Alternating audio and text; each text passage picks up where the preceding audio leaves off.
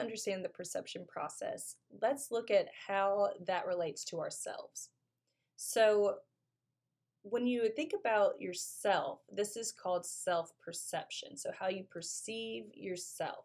The book says that self perception is the overall view we have of ourselves, which includes both self concept and self esteem. So I want you to think of this like a triangle, right? Where at the top is self perception, which is like this is my overall view of myself, how I perceive myself.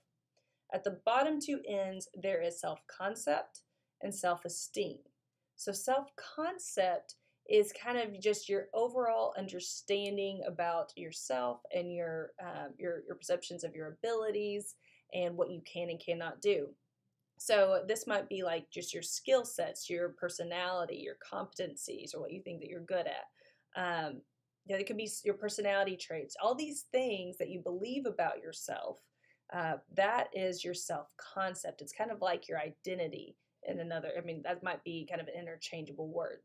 Uh, how like what? How do you identify yourself? All these little things that you know about yourself that creates your self concept. So that might be do you think you're good at sports? Do you think you're good at learning? Or do you think you're smart? Do you think, you know, that you're a good singer? Do you think that you're funny? Do you think you're outgoing? Do you think you're quiet? Do you, you know, all those things that you would think about yourself, that's your self concept or kind of the identity that you have constructed or that people have helped you construct. Um, I do think that self concept, you know, one of the things that I think is really important is some of our self concept is based maybe on our experiences, like what we've seen ourselves do. And so um, we think things about ourselves, but then also what people have told us. So, you know, over time, people may tell you things that could be good. You know, like with my son, I try to really lift him up and say things that are that help him, but I also or that encourage him. But I also realize that things that I say can influence what he believes about himself, right? So if I'm always saying, you know, you're you're such a good clean like you clean up so well you're always so polite you're, i always say those things to him he's going to start believing that. So i don't want to get in the whole like the whole um, argument on if this is influence or not or whatever. That's just how self-concept works right? The, probably people have told you things about yourself that you believe. Um, also you have seen yourself do things that, that have made you believe things about yourself. So that's self-concept.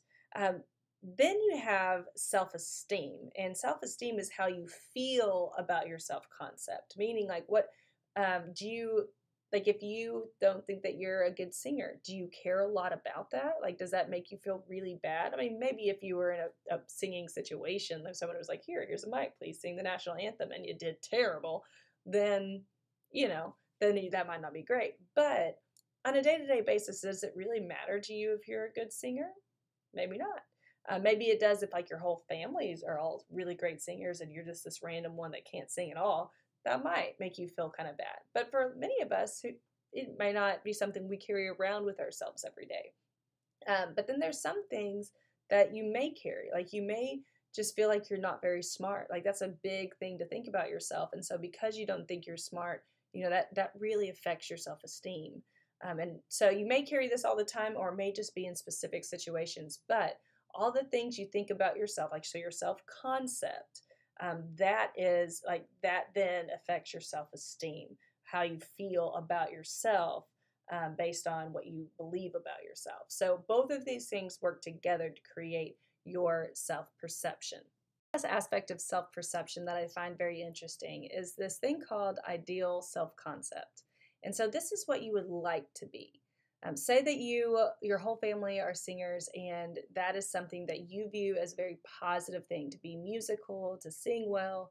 Um, so you're probably going to want to be a singer and fit into that.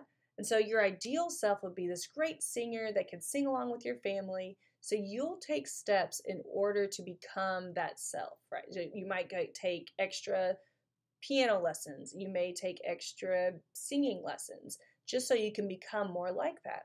So the ideal self is also what you're probably going to be sharing with people if they ask you about yourself. So we it's a tendency I think for people to want to share the positive, um, to be seen in a positive light. So say I ask you, "Hi, tell me about yourself. What are you interested in?" and all those things. You might say, "Hi, I'm so and so." Oh, I'm I, I'm really into singing. I my family we're all singers. We love it. But you'll probably tell me a lot about um, whatever it is that when you visualize yourself as your ideal self, the positive things, you're probably going to share that with people. I find the ideal self a very important aspect of self perception because sometimes we can have this vision of our ideal self and it can seem so unachievable that it causes us to really, our self esteem to really be impacted. Uh, you know, and this can be based off maybe people have told you you're not good at things, or people tell you that you should be good at things and then you're not. So then you just feel bad about it. It can cause these negative, uh, negative emotions um, but I also believe that it can be a really positive thing. Like, if you can take it and instead of looking like, oh, I am not that, and then being down about it, if you can take it and instead say, okay, let me define that ideal self. So often we are told things, like people talk things over us, and that defines our self concept and the ideal self. But if we really took time to sit down and think, like, are these things true about me? Do I even like these things? then we can take a moment and say, okay, no, actually, I think I am really good at blank. And that is part of my self concept and my ideal self concept. Or, you know, I really don't even like singing that much. I really like drawing, you know, and so then you're like, I don't really even, my ideal self really doesn't need to chase after the singing dream just because that's what my family wants me to do. I, I want to be an artist. So I'm going to chase after that. I think if we can define our ideal self by really looking inwardly and saying, okay, in myself, like who is who who am I? Like, what are the things I love? Um, I've been working over the last now 10 years to really define that self concept, that ideal self, so that I can positively work towards the Helen that I want to be. Um, so I would encourage you with the ideal self to take that approach. Um, if you look at your ideal self right now and it makes you feel really bad about yourself, over time I hope you'll you'll start breaking that down and you'll look at the ideal self and say, okay, now let me define what that ideal self is and figure out how what steps do I want to take in order to get there. And the the goal isn't to ever probably ever to fully achieve it. It's to always grow and to always grow towards that ideal self so that you can be your best self someday.